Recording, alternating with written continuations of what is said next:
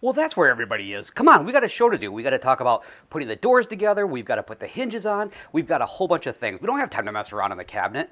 Besides, how how'd you guys get in there? That's it's not that big.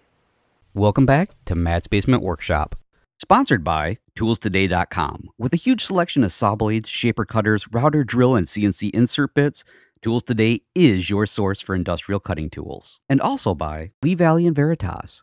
With over 5,000 high quality woodworking hand tools, visit their online catalog at leevalley.com.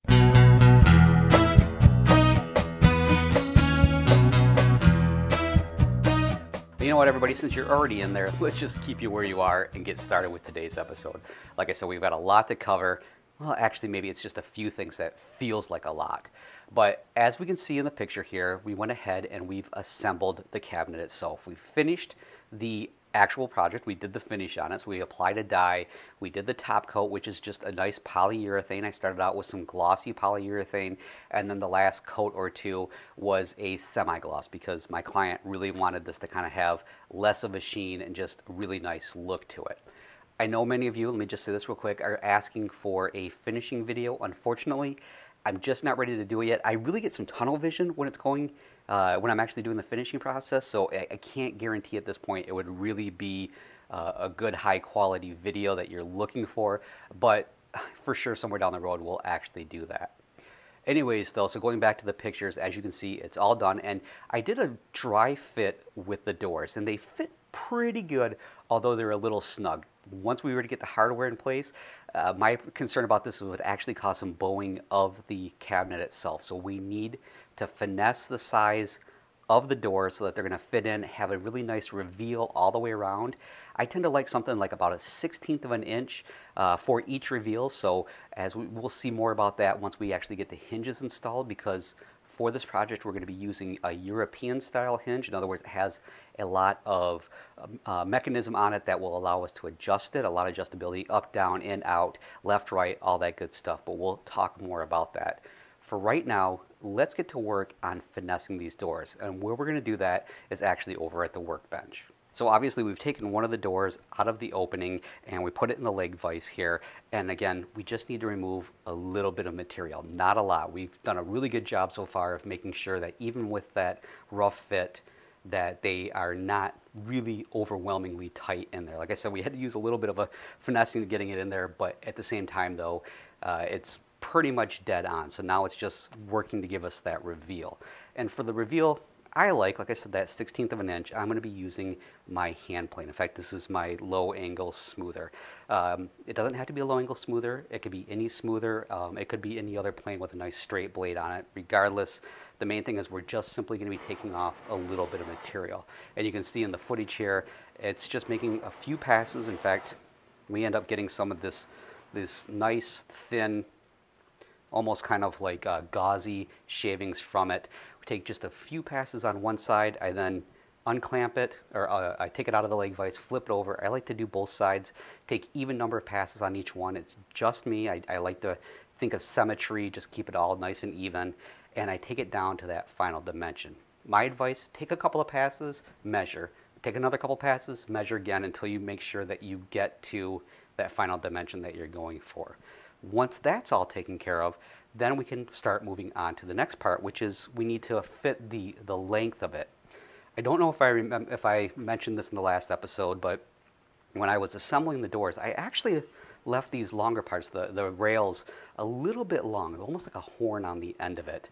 And the main reason for that was I was planning on maybe coming in and if necessary doing a cross cut on the table saw, but once I got it in position, it, again, it was very, very close to where I want it to be, so I only needed to remove a little bit of material. And as you can see in the footage, again, we're using the leg vise here. We stand the door up, and then just to make sure that I don't blow out the edge, because I'm going to be going straight across, again, using my hand plane for this, I put a nice little backer board in there, as you can kind of see, just a backer strip, more or less. And once I had that in position, I clamped it all together so it's nice and tight to each other. And then I just simply went to town. In fact, the first thing I did was I started working on one of those horns so that as I made my pass, I can go straight through. And once that was taken care of, once that first end was down, so it was pretty much flush with the, uh, uh, the stile here, then it was a matter of just taking a few passes until everything was flush, and then I was ready to do my first test fit. And here they are fitting within the opening exactly the way I want them to. And once we install the hinges, we're going to be able to get those reveals dialed in perfectly. The way that I'm installing these doors on the cabinet is I'm going to be using this European style hinge or uh, adjustable hinge. I'm not really sure what name you use anymore for it. All I know is it's a lifesaver at times. And really when it comes down to it, it's not a very complicated piece of hardware to install. The main thing is this portion right here is actually a little cup and it fits into a hole in the door. And so I need to establish where those holes are going to be because I want them centered for the 1 and 3 8 inch Forstner bit that I'm going to end up using to drill that hole out. And rather than, say, coming in with my tape measure and trying to remember specifically where it is or setting up a couple of squares or something to do it, I'm going to be creating a story stick. Now, I've used story sticks before. In fact, one of the last times I used it uh, in the show was, well, it's been a couple of projects that I've used it in, but for sure, one of the big ones was the Walnut Buffet project uh, that we did. So I invite you to check that one out. We used a really intricate story stick, which basically means it had a lot more writing on it than this one does, to help establish where we wanted all of the hardware set up. But for this particular one, we have two dimensions that we want to worry about. We want to get the center from the, the edge here, and then we want the center from the uh, top and the bottom. So, like I said, we went ahead and set up this story stick. Now, the first thing I did was create that 7 eighths of an inch in from the edge itself.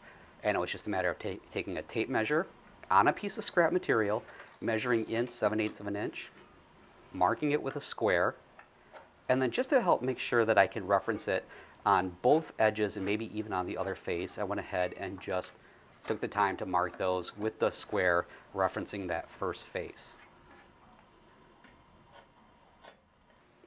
Now that I have the dimension that's going to help me get the center down from this edge, like I said, we want to go ahead and create another mark that's going to give us the center from the top or the bottom.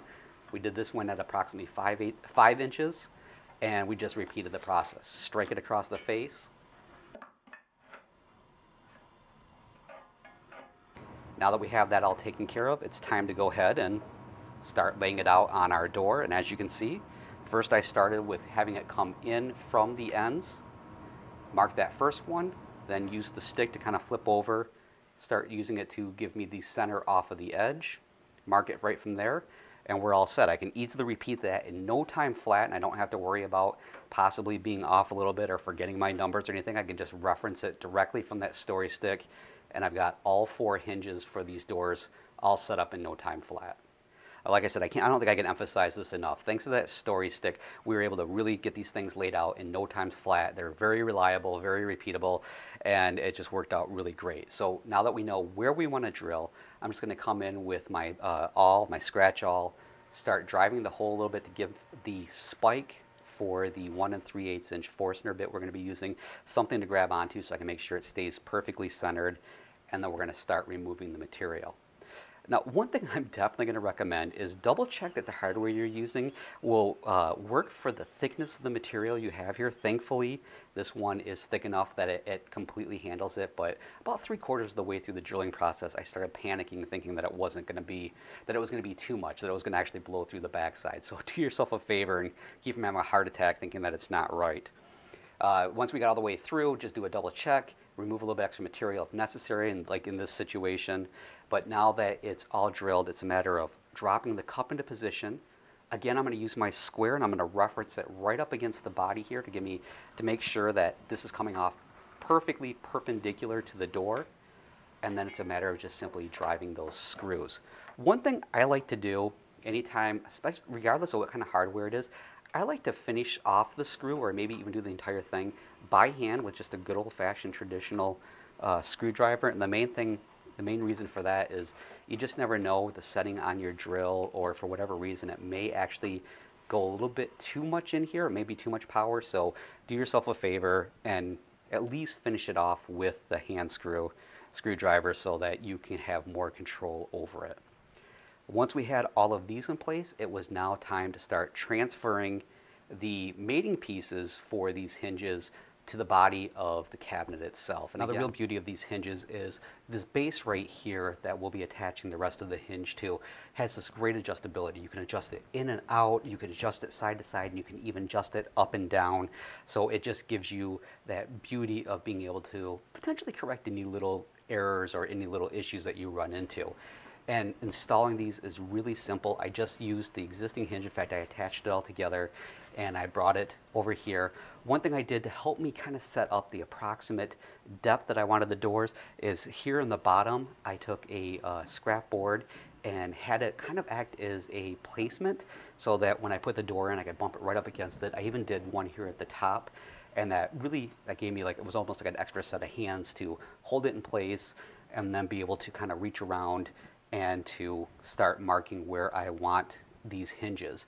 Uh, previously, again, I used a uh, rather elaborate story stick, especially again in the, in the walnut buffet build, where I had marked out where I wanted these top, bottom, and even the screws themselves. You can go that way. It's a really excellent way, so that way you don't even have to play around with them. You can just kind of get it in position. But in no time at all, as you can see in the footage here, we just kind of got it in position, took our scratch awl again, marked where we wanted the hole, removed everything, and did a test fit with the screws, kind of got them started, and then came back in and started installing. And between the combination of doing that and then those little support pieces here and there, we got it perfectly in no time at all. Now here at the bottom on the flip down door, we did almost the same exact thing as we did up top. We worked the, uh, the edges so that they're going to fit within the opening and give us the reveal that we want. We installed these, again, adjustable style hinges on here. And, but one big difference is, as we go to close this, as I'll keep on talking, you notice that it's starting to close on its mm-hmm. own, and that was actually a request from the client. They wanted to make sure that we had some sort of soft close on here so it's not going to slam on them. Mm-hmm. And these are strong enough that it, once we get that insert in here, we'll be all set. Although we did talk about putting some sort of cam action in here to keep it from flipping too far forward. So that's something that we're working on right now, but more or less, this is all done. Oh, and if you're wondering, this is just the protective covering for the stainless steel. I wanted to kind of reveal it to make sure that it matched up the way I wanted it in the cabinet itself, and it did. So at this point, we are all set here. Now the last thing we need to do is to get the back in place. And we're just using a piece of plywood. It's a nice piece of quarter inch plywood. And I'm not worried about exactly how it's going to look. I mean, I don't want any big voids or knots or stuff like that in there. Uh, so we're going to use the A-face for the interior here, and we're going to be painting it black. Um, I don't want to worry about matching up the color and stuff like that. And it's going to be on the interior, so it's not like a showpiece. So we'll do the whole entire thing in black. We have one here at the top, and then we have one down in the flip down portion here. And really when it came down to it, it's just a matter of cutting it on my table saw and adjusting it slightly with the hand plane. All right, so this is a good place to stop today's episode. I thought I had a few more things to go over, but really when it comes down to it, it's just a matter of getting the doors in position, getting those reveals we wanted, getting the hinges installed, and we are ready now then to take these out and to start the finishing process, again, applying the dye and getting that top coat on. Again, we won't be covering any of that just because of all those reasons I listed previously about me and finishing and getting it on the camera. If you have comments, questions, suggestions, I'd love to hear from all of you.